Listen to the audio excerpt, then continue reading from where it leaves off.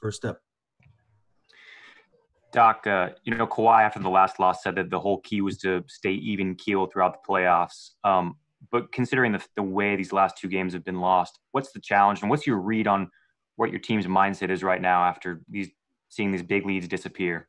I don't know what it is right now, but it'll be it'll be good by game seven. Um, no, listen, I thought once Murray went down um, with that injury, uh, from that point on, the game, the complexion of the game completely changed. I thought we were the more physical team. We were attacking. We were getting into the paint. Uh, and from that point on, if you look at that point on, uh, it was a reverse of script. You know, I really and I, I, I use all my timeouts just to try to get us to keep playing uh, the way we've played each game to get these leads. You know, we were, it was beautiful basketball, um, and then we stopped playing. Uh, we stopped moving the ball. We stopped attacking on offense, uh, and then that's what allowed them to score on defense because we didn't score. So, you know, it's, it's funny. Usually, you know, at the end of games, you say our defense uh, let us down. I thought it was offense tonight. I really did. I thought our offense let us down. Thanks, Andrew. Next uh, will be Ohm. Go ahead, Ohm. Hey, Doc, what's your uh, message to this team after these last two games and entering a game seven? I don't know yet. I'll let you know. Uh, next question, Doc, will come from uh, Dan in the bubble. Go ahead, Dan. No.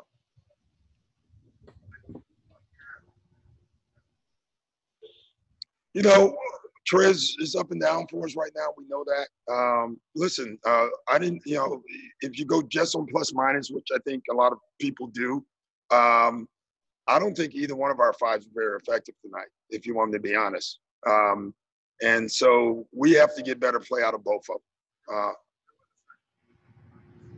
yeah, I get that. But, you know, when you sometimes watch the game and then add up that minus and see if he was involved in it, you know, it does happen sometimes. So just watch it first before we make that critique. Uh, next up is Miriam. Hey Doc, um, the other day you said that, that the team wouldn't let allow itself to be great, and obviously you guys were playing so well today, and, and then stop playing as well as you were. How, how, frustrating is that for you to kind of like see it's it? Frustrating, but you know, listen, um, when you decide to be a coach, it's not going to be roses every day, and so we clearly have the right formula as far as how we're playing, and then we keep losing it, you know.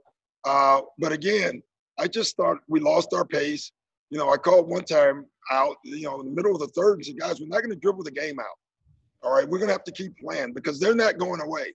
Um, and, you know, they didn't go away. So give them credit. Like they made every shot, they made all the right plays.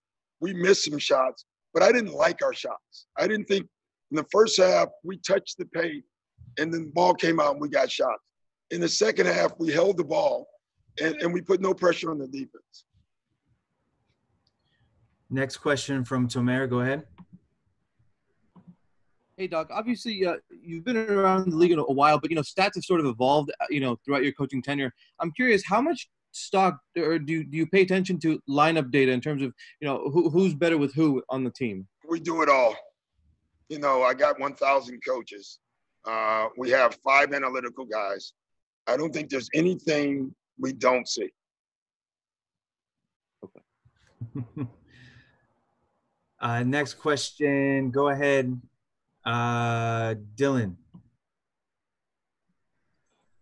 Doc, when when you talk about just kind of not being able to sustain that throughout the whole game, is that a lack of concentration? Is that a lack of instinct? I have no idea. Uh, honestly, uh, it will take me again watching the game again. Um, I, I put it early though, even before we lost the lead. Uh, I turned to Ty Lue and said, "We've lost our pace. We're walking the ball up the floor. Uh, we were getting stops at the beginning of the second quarter, a third quarter, and we just we lost our pace, and that's just not us. It, we can't play the way we tried to play. Uh, go ahead, Andrew.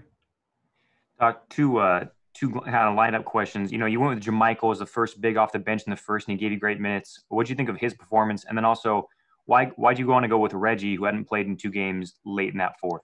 Uh, because sometimes we're down and you just try to go with someone. One thing Reggie has done, he has shown the ability to make shots. Um, You know, he struggles in other areas, but he does um, have that ability. And at the time when you put Reggie in, we needed someone to make a shot uh, because we wasn't doing that. So that's why uh, I love what JaMychal. I think you know, like it's a great example. JaMychal, you look at his plus minus a minus ten, right? JaMychal played better than that. He was terrific tonight overall for us. So um, he was just out on the floor with a unit that lost the league, and so his plus minus doesn't look right. That's why you got to be so careful with just reading the plus minus. Doc, last question is coming from uh, Gary Washburn. What, you on vacation now? Waiting for the next game? You have a veteran team. How do you handle them before this game seven? And you, given all the injuries and guys coming in and out, do you have you know how this team and the attitude? Because obviously you've got to be surprised by the. Kind of Yeah, the yeah. I am. Um, but I, you know, honestly, Gary, this team is not. This is I don't know how many playoff games, but that's all we've played. You know, this is not a team, a veteran team as far as where they're from, but they're not a veteran team together. You know, so um, you know, we got. Thank God it's afternoon game. You know, we got the rest of the day. Uh, got time to prepare tomorrow and get ready for the next game. Thank you, Doc. Appreciate your time. Thanks, guys.